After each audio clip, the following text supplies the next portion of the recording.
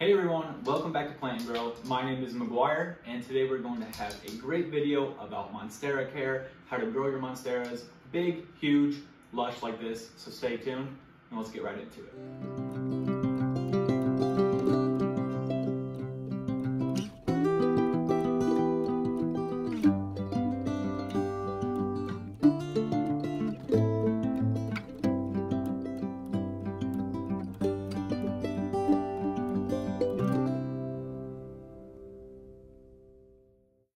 Everyone. So I'm sure you all want to know how to get your Monstera as big as this. Um, it doesn't happen within a week. Uh, I wish it did, but it doesn't. So I'm going to give you a few steps, tips on how to get your Monstera this big, how to get the leaves this huge, how to get so many fenestrations within here, and everything like that. If you want to stay tuned, I hope you guys do. Please subscribe, like, comment, and make sure to turn on that bell notification so that you're alerted next time I upload a video like this. Um, if you guys do enjoy, so I appreciate you guys doing that. But the first thing that we do to get this Monstera big is basically give it the right light.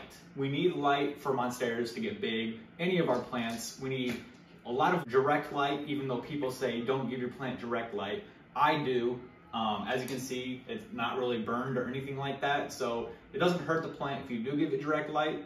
Um, but if you do, make sure that you only do it for part of the day because otherwise your plant may burn, it may die, who knows, but I'm not gonna chance it. But light basically gives your plant nutrients. If you've ever heard of photosynthesis, that's what happens with the plant. It photosynthesizes and it's basically eating the sunlight, turning it into nutrients, making food for itself, and that's how they get bigger and bigger and bigger. So that's why I give my plant as much light as I can so that the leaves can get huge and the plant can grow fast.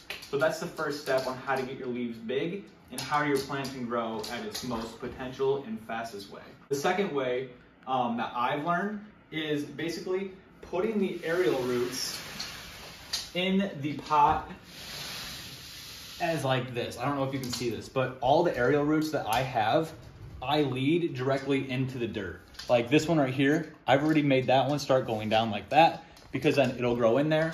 It'll grow a huge root ball inside the pot. And that basically gives the plant more energy, more leverage, and gives the plant like, basically it's like a ship. It starts it from the base and goes up into the plant, making it have a lot of potential for a lot of leaf growth. And that's like the biggest thing for me. And that's why people don't ever put their roots into the pot and they let them grow and then they get like 20 feet all over their house. First off, I don't want that. It's a pain in the butt and I'm not really a fan of it. I don't like the look of it either. So I put it in the pot, grows roots, and that's how basically the plant will get huge leaves. The light and the roots in the pot like this, that's what basically will give your plant the biggest leaves possible. And that, like to me, is the biggest key for getting monsteras this big. You want to keep your roots in the pot. Don't let them go out. The third step, to me, is soil composition. So on this, what I do is perlite with Miracle-Gro. I know a lot of people say that Miracle-Gro isn't good and that you're only probably six months of nutrients with the soil, which I don't really believe because I've had this, this plant potted up for about eight or nine months now in the same pot and it's still growing good as the first day that I put it in here. But what I do is I do about 70% perlite, 30% soil. Um, you want good chunky mix for your aroids, especially monsteras, so that they have something to grab onto and basically gives the plant more energy and is able to latch on, giving it strength to hold the roots on to make the energy go up into the plant as well, basically along with the roots. So like those two kind of correlate with the dirt and the roots. They correlate together, but that's the third way that you're gonna want your plant to get like really big is by having good soil. And I know people do different types of soil. They put bark in theirs. They put uh, moss. Sometimes they put moss and like other like stones and stuff like that, which is good. But I just try to go as simple as possible, and it's worked out for me. Um, if you guys want to try it, try it out. Perlite really will actually like keep it airy, uh, keep it so it doesn't root rot first off. But yeah, that's the third way um, that I think that it really helps to get your plants this big. The fourth way that I think is putting a pole in your pot with your plant gives it potential to grow up and that's how they grow in the nat uh, in the nature in the nat they grow in the nature they grow up trees uh, vines just really anything that they can find to grab onto they'll grow up and uh, they do that for a reason because as you can see, there's holes in the plants too. And it's the same reason is because they want to reach the sun. So the, the, the higher that they grow up that they can on a pole, the better because it gives it more leverage to go up to the light. And that's why they put holes in their leaves so the bottom leaves can get more sun.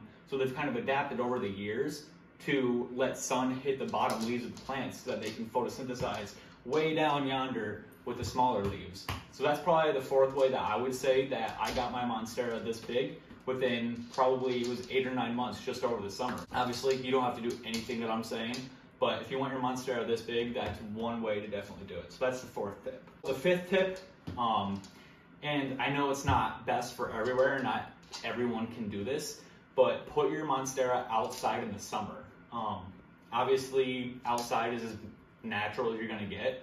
Um, you can't really get much more natural than putting it in nature itself. So, especially here in the Midwest, we have pretty good humidity. Like in the summer, it's around 65, 75, even 90% on some days. Um, that it does get really hot and humid. But I think that putting it out in nature is the best. Um, it hardens the leaves the most. I don't know if you guys know what hardening is, but when your plant, when your leaf comes out, it's soft. Like, you know how it is like soft and you can rip it on accident when you're helping your leaf out. But it helps harden the leaves. They get, they get this like, I don't know if you can see, like this part goes up like this on this leaf, and that's what hardening is. So it makes your leaf hard so that it won't rip or tear, and that it can just be more resilient to outside things like wind and temperature like that because it gets thicker as well. But I think putting it outside is probably the best way. It has humidity, light, um, it rains outside. So it gets a lot of the main keys that a plant really needs. So that's definitely the fifth way that I think getting your Monstera this big, especially that quick, because it was literally, I'll put a picture up right here of what it looked like before. And now this is after, obviously, because I have it in here doing this video. But yeah, I hope you guys enjoy. Let me know if you try this out. If you want your plant to get huge like this, I suggest doing it. Um, it will get big quick. Um, but yeah, guys, let me know in the comments if you have done this already. But if you guys do, please let me know. And I'm excited to see them. Thanks, guys.